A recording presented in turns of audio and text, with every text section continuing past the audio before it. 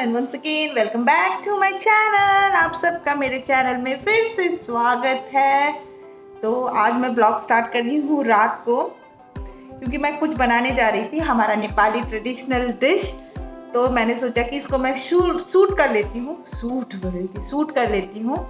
तो अभी मेरा राइस तो बन चुका है और साढ़े आठ भी हो चुका है राइस बन चुका है। तो फटाफट मैं डिनर का प्रिपरेशन कर रही हूँ।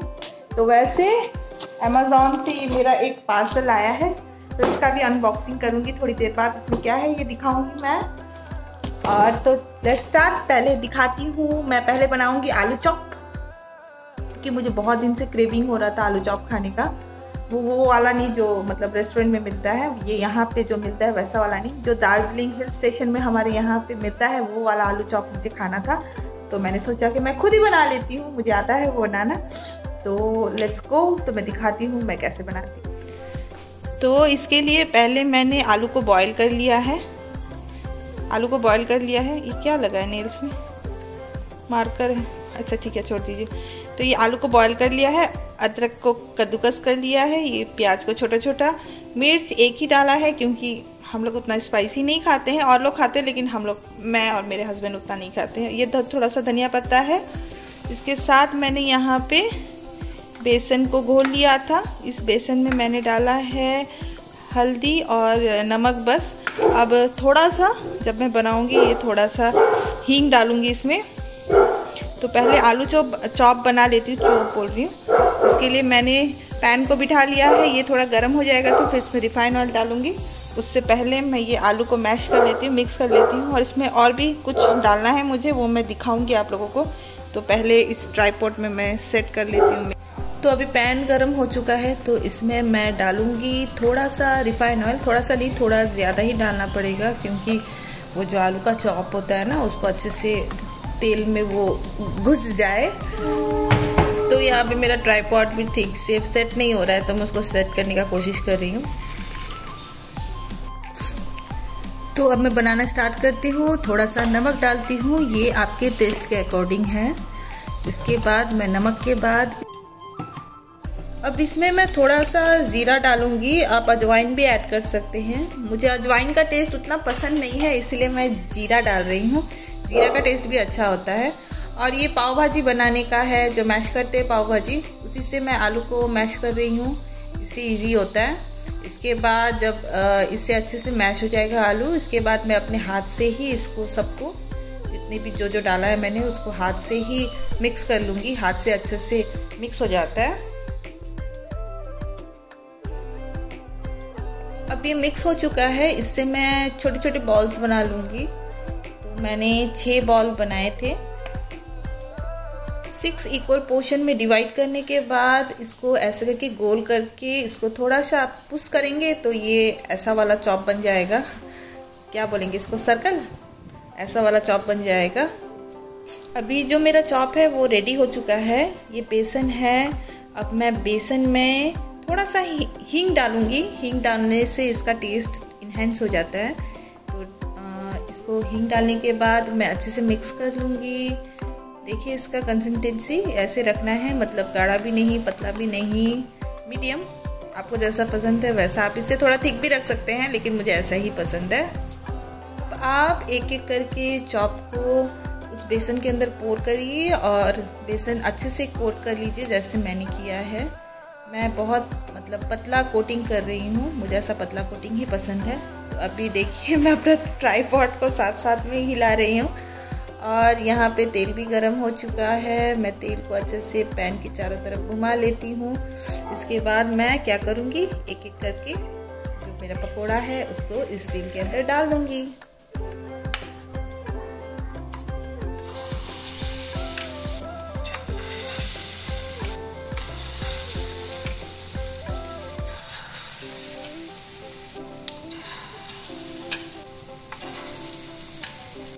आपको गैस मीडियम टू हाई रखना है, इसके बाद एक साइड वो बन चुका है। अब दूसरे साइड में एक करके पलट रही हूँ। अभी मेरा जो चॉप है वो बन चुका है तो मैं इसको निकाल लेती हूँ एक एक करके। देखिए कितना सुंदर गोल्डन ब्राउन हो चुका है दोनों तरफ़। तो इसको निकाल लेती हूँ मैं। चेरी तो आलू चॉप नहीं खाएगी, इसीलिए मैंने उसी तेल में चेरी के लिए आलू को फ्राई कर लिया। उसको आलू फ्राई बहुत पसंद है। तो आज ये राइस के साथ आलू फ्राई ही खाने वाली है। तो अभी मैं बनाने जा रही हूँ गुंदरुक। तो इसको मैंने गर्म पानी में पहले से भिगा लिया है। ये गुंदरुक क्या होता है? ये फर्मेंटेड राइस आगे राइस आगना बन जाओ पापा। राइस आगे भन्छ चेरी चप्पल लगाओ। पता नहीं इसको आप लोग के लैंग्वेज में क्या बोलते हैं। हम लोग राइस आग ही बोलते हैं। तो ये फर्मेंटेड राइस आग है। इसको मैंने गर्म पानी में थोड़ी देर के लिए भिगा लिया है क्योंकि ये बहुत हार्ड हो जाता है। तो अभी ये सॉफ्ट हो चुका है। तो मुझे चाहिए एक प्याज दो मिर्च अदरक और टमाटर। आज मंडे है हम लोग लहसन नहीं खाएँगे तो इसलिए मैं लहसन नहीं लगा रही हूँ। लेकिन हम लोग प्याज खा लेते हैं मंडे को। तो अभी स्टार्ट करते हैं। तो आ, मैं घर का ही है ना?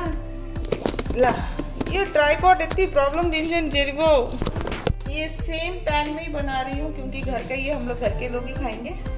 तो सबसे पहले मैं ये सरसों का तेल डाल रही हूँ थोड़ा सा।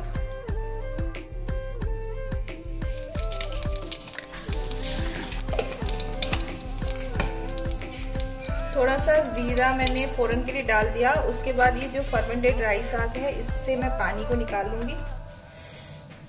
ट्राईपॉड भी ख़राब हो चुका है, मैं ज़्यादा उसको यूज़ नहीं कर सकती हूँ। तो अभी ये देखिए अभी ये पत्ता बस है मेरे हाथ में, दिख रहा है आपको? तो इसको मैं फ्राई कर लेती हूँ पानी में। तेल में।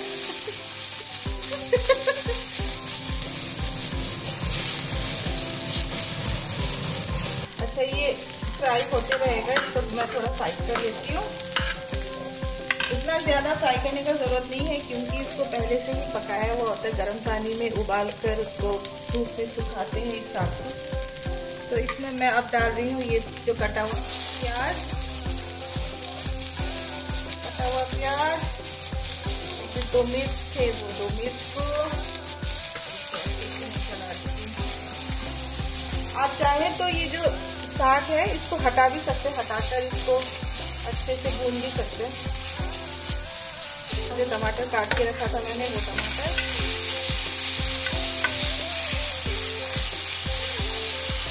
नमक,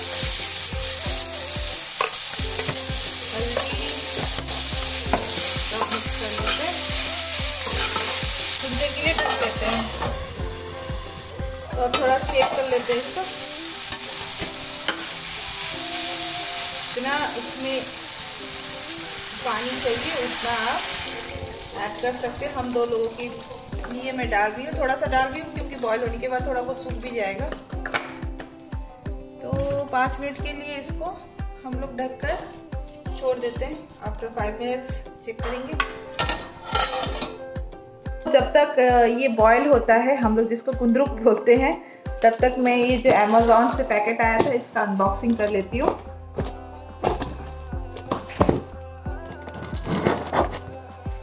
ये है मेरे फ़िश टैंक का जो फ़िल्टर है वो बहुत दिन से ख़राब हो गया है इसलिए मुझे नौ मतलब आफ्टर एट नाइन डेज़ मुझे पानी चेंज करना पड़ रहा है बार बार मतलब साफ़ करना पड़ रहा है। बहुत प्रॉब्लम होता है सघर का काम रहता है ऊपर से वो एक्यूरियम को भी ठीक करो तो इसलिए मैंने फिर से एक वाटर फ़िल्टर मतलब एक्यूरियम फ़िल्टर मंगाया है। इसका रिव्यू अच्छा था। हज़ार? हाँ कर देंगे तो। मेरी कार्टून देख रही है तो मैं उसको बोल रही थोड़ा म्यूट कर दूँ। म्यूट करने से साउंड अच्छा आता है। तो ये रहा ये फ़िल्टर जो जिसका रिव्यू अच्छा था। तो मैंने मंगाया अमेज़ोन से।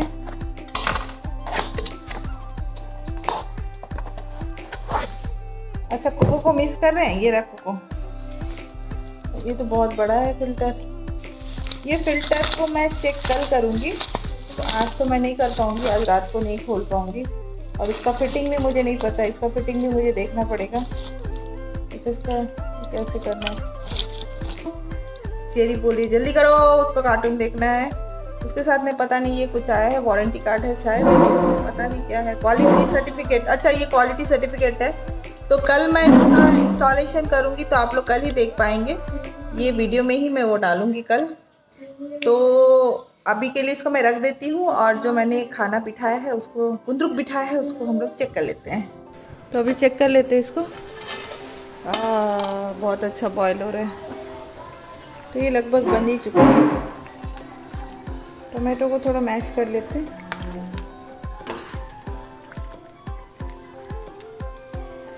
इसके बाद इसमें हम लोग ऐड करेंगे थोड़ा सा ये जो कद्दूकस किया हुआ अदरक।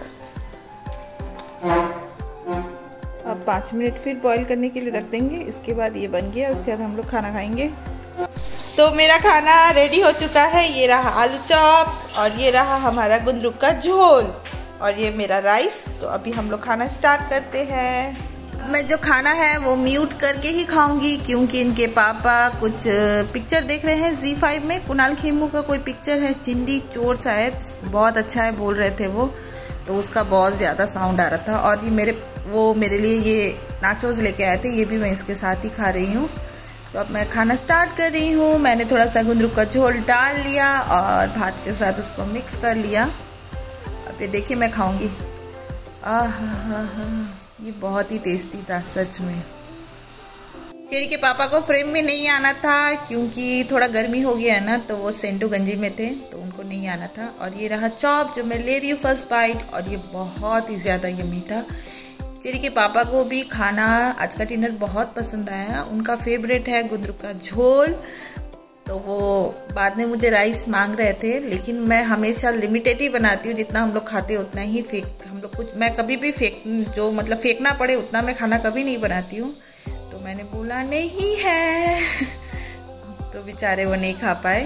तो नेक्स्ट टाइम जब मैं गुंदरुक बनाऊँगी तो थोड़ा राइस थोड़ा ज़्यादा बनाऊँगी ताकि उनको, अगर फिर से उनको सेकेंड फिर चाहिए तो फिर मैं उनको दे सकूँ।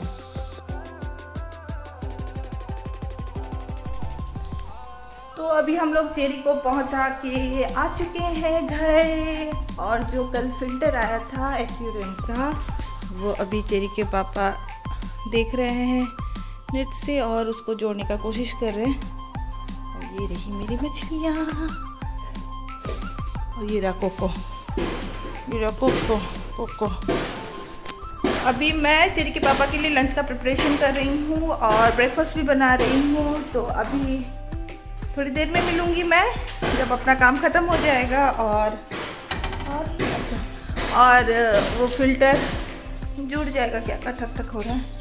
तो वैसे तो मैं अभी चाय पीते पीते कढ़ाई बिठा लिया है और भिंडी को फ्राई करूँगी। मेरा चाय। तो थोड़ी देर में मिलते हैं। मेरे पति ने आज ज़िंदगी में पहली बार कुछ काम किया है। इन्होंने इस फ़िल्टर को जोड़ दिया। अब मेरा एक्यूरियम साफ़ हो जाएगा। देखिए, ये बॉस नहीं सहे चनेले तान दे साहब वो सब तान से ले। देखिए तो कितना फ़िल्टर फ़िल्टर यू नहीं था ना तो बहुत गंदा हो गया था अंदर। अब ये सारा फ़िल्टर कर देगा। हेलो। तो फिर मेरी मछलियाँ सुंदर दिखेगी। तो अभी चेरी के पापा का लंच बनकर रेडी हो चुका है तो मैं दिखाती हूँ मैंने क्या क्या बनाया आज। आज मैंने ज़्यादा कुछ नहीं बनाया, उनके लिए दो दो बॉक्स में राइस डाला, एक में ये भिंडी की भाजी और एक में अंडा कड़ी। तो इसको फटाफट मैं पैक कर लेती हूँ। तो ये पैक हो चुका, कैसा लगा मेरा मैजिक ट्रिक और ये रहा उनका टिफ़िन इसके अंदर मैं इसको डाल देती हूँ। और इसको मैं सील कर देती हूँ। चलो, बंद हो जाओ। अच्छा मैंने ब्रेकफास्ट में बनाया है चाउमीन, एक चाउमीन। हम लोग अभी ब्रेकफास्ट में यही करेंगे। उसके बाद उसके बाद मुझे क्या बताना था? अच्छा ये वाला वीडियो मैं इतना ही रखती हूँ, इसके बाद मुझे कुछ भी नहीं बताना था, क्योंकि घर का थोड़ा सा काम पेंडिंग है। घर का काम करना है, कपड़े धोने लास्ट में मैं, मेरे हस्बैंड ने एक गाना गाया है, उसको अटैच कर दूँगी। तो प्लीज़ उसको देखिए और इन्जॉय करिए, क्योंकि वो बोल रहे थे, डाल देना तुम्हारे ब्लॉग में। तो आपको कैसा लगा उनका गाना? प्लीज़ कमेंट बॉक्स में कमेंट करके ज़रूर बताइएगा। अगर पसंद आया तो मैं पक्का नेक्स्ट वीडियो में भी उनको बोलूँगी कि और एक गाना गा के बताओ बोलकर। तो वीडियो पसंद आया तो please like comment and subscribe till then take care bye पता भी है क्या? मुझको गिरा भी है क्या? इस दिल के सिवा